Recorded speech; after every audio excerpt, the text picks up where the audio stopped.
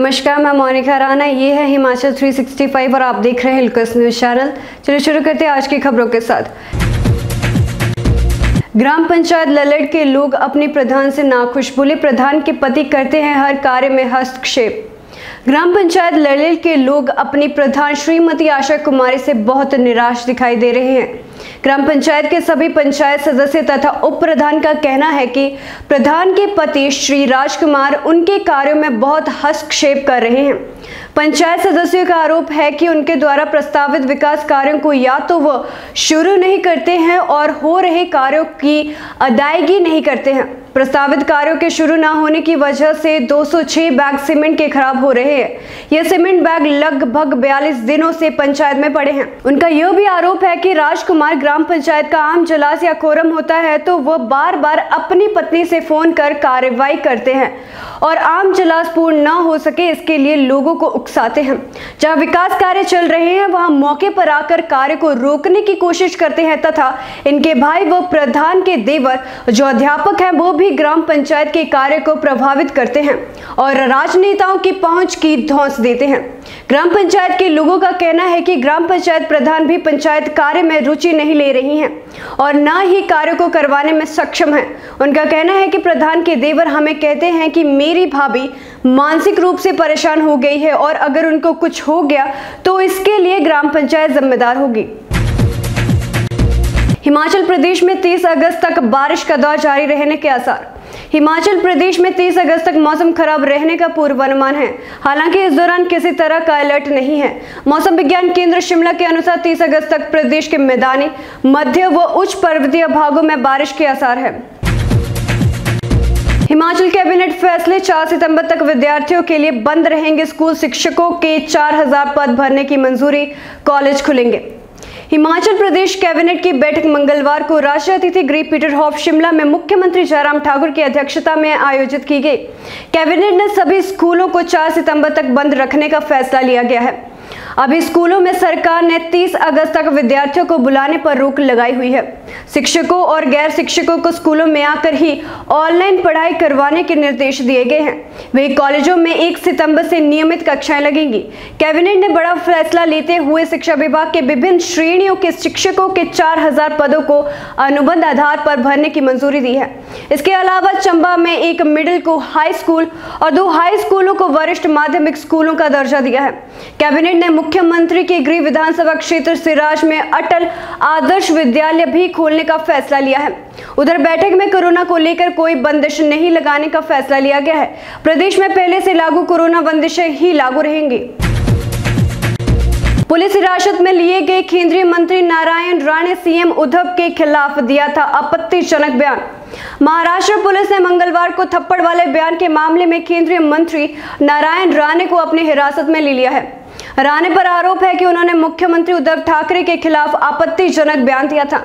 नारायण रावने को चिपलुन से हिरासत में लिया गया है। पुलिस के मुताबिक उन्हें गिरफ़्तार करने के लिए कागज़ी कार्रवाई पूरी की गई है। 1813 करोड़ की परियोजना से शिमला शहर को 24 घंटे मिलेगी पेयजल आपूर्ति। कैबिनेट ने समझौता पैकेज के प्रारूप को दी मंजूरी।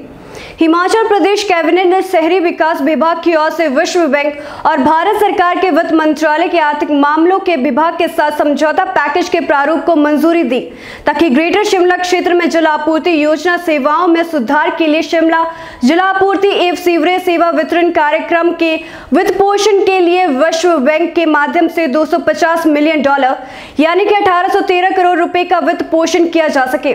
कुल राशि में से विश्व बैंक 160 मिलियन डॉलर, यानी कि ग्यारह करोड़ रुपए की वित्तीय सहायता प्रदान करेगा। शेष राशि 90 मिलियन डॉलर, यानी कि छह करोड़ रुपए का वहन हिमाचल सरकार की ओर से किया जाएगा।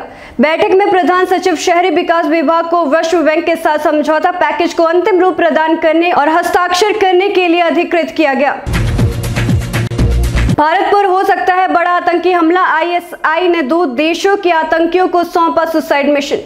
अफ़गानिस्तान पर तालिबान का कब्जा होने के बाद से ही पाकिस्तानी आईएसआई और उसके समर्थन आतंकी संगठनों के दुस्साहस को लेकर कई तरह की खबरें आ रही हैं।